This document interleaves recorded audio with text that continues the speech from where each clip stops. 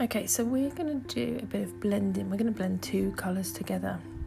So I'm going to do some light blue and light red or pink, and I'm going to do some blue and yellow. So think about your colour wheel. Uh, the easiest colours to choose from are the primary ones, red, yellow and blue, because if you mix those together, you're going to get one of the secondary colours, orange, purple or green. Bear that in mind if you're trying to blend two colours and those are the easiest ones to choose. So I'm going to go with light red or pink and light blue to start with.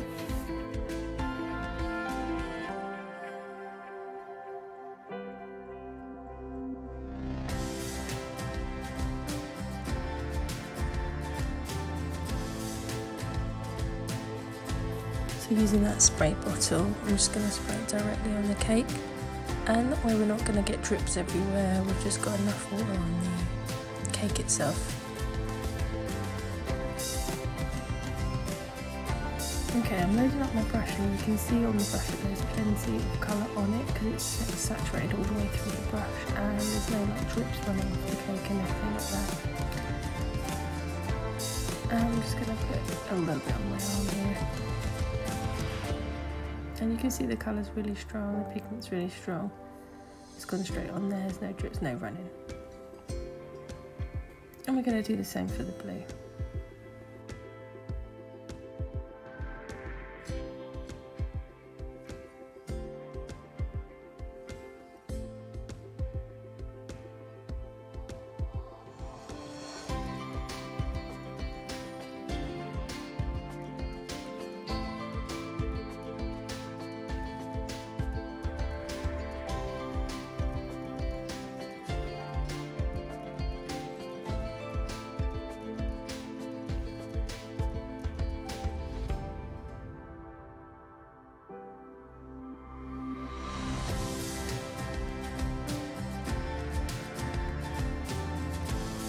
Okay, so once I've got my two colours down, I'm going to take that first brush again that's kind of still a little bit wet but not very, and I'm going to use it to go down the, the join of the two colours.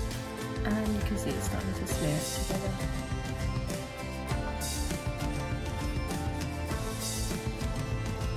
I'm only going in this one direction, uh, along the join rather than up and down. If I was to go this way across, you can see it doesn't really blend nicely, making it like a harsh line. Whereas if I go the other way, I can sort of blend it and blend it nicely. And I'm just going to keep going up and down, stroking on those lines so that I blend those two colours together and you can see it's creating that um, secondary colour in the middle, that purple in the middle.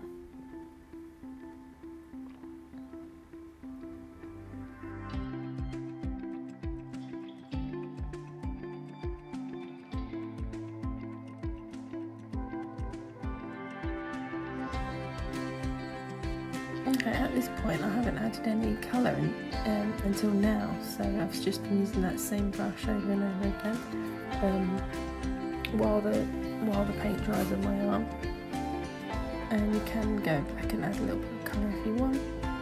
If you're thinking, oh, it's too purple or it's too pink one end, you can just add a little bit of colour and blend it together.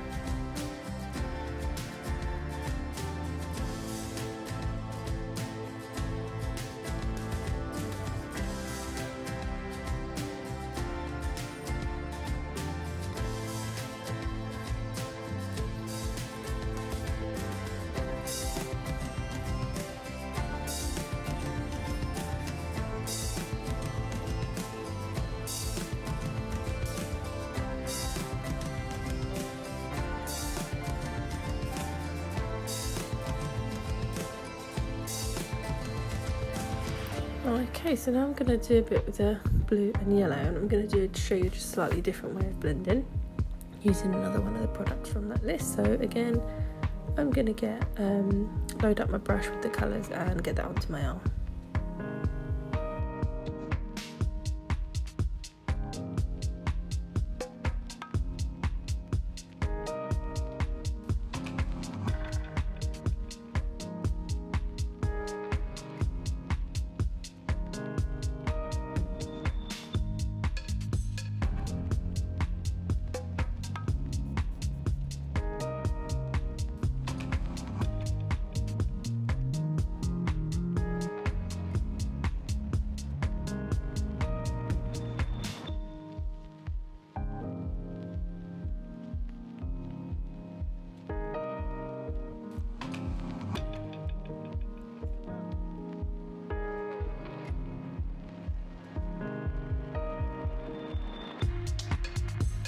Okay, so I've got those two colours down.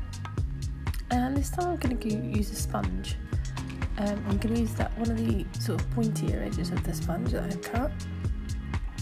And I'm just going to go straight on that line again and up and down. I'm not going side to side on the line, I'm still going up and down. You can see already with that dry sponge, no water, but it's going straight, it's going straight on there, it's blending it really nicely. It's much quicker.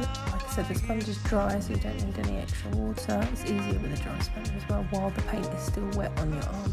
Obviously, you painted a huge area, um, you might need to go over and wet it slightly um, on the join.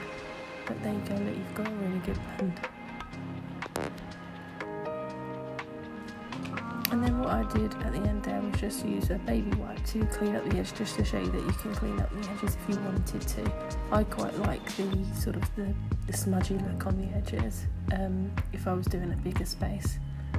Um, but you can obviously just use your baby wipe to clean up.